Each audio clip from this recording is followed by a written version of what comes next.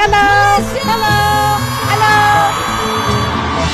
Terima kasih kerana anda memilih Koko TV. Koko TV. Namanya tersohor ke seluruh pelosok negara, malah pernah mengukir nama di persada antarabangsa apabila menjadi penyanyi tempatan pertama mengadakan persembahan di Dewan Royal Albert Hall, London. Mungkin ada benarnya perumpamaan Melayu, harimau mati meninggalkan belang, manusia mati meninggalkan nama kerana yang tinggal hanyalah satu nama, Datuk Sudirman Haji Arsyad. Selepas 20 tahun pemergiannya ke Rahmatullah pada 22 Februari 1992 pada usia 37 tahun, apa yang tinggal hanyalah nama dan himpunan lagunya yang masih segar dalam ingatan peminat tinjauan berita harian ke rumah tempat dia dibesarkan di Kampung Bukit Tok Embun, Temeloh, baru-baru ini mengejutkan kerana bekas tapak rumah itu kini hampir sukar dijejaki kerana dilitupi semak samun, rumah berkenaan hangus terbakar pada tahun 2008 dan yang tinggal kini hanyalah adalah cebisan kayu rentung serta tapak rumah. Berikutan itu adalah wajah pihak berkuasa mengambil langkah membina semula rumah terbabit atau mendirikan memorial bagi menghargai sumbangan Sudirman kepada industri hiburan tanah air atau setidak-tidaknya meletakkan papan tanda yang merujuk kepada penyanyi itu.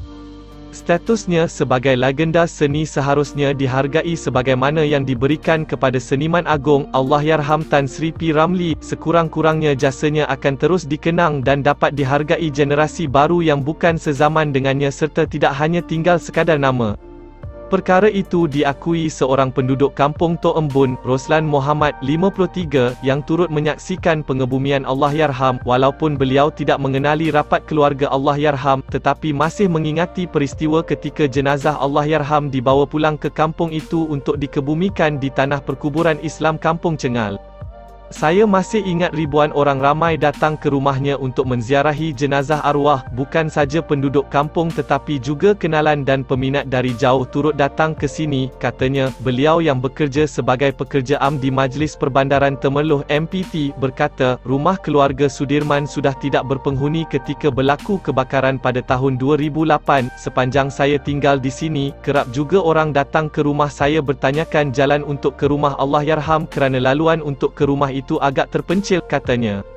Roslan yang juga anak jati Temeloh berkata, beliau pernah bertemu dengan penyanyi itu ketika dia pulang ke kampung dan menyifatkannya sebagai seorang yang mudah mesra dengan sesiapa sahaja. Pemergiannya pada usia muda amat dirasai dan dia juga menjadi kebanggaan Pahang, terutama orang Temeloh. Malah langkah MPT menamakan jalan di bandar Temeloh sempena nama Sudirman amat baik dan dapat mengingatkan orang ramai terhadap sumbangan penyanyi itu, katanya.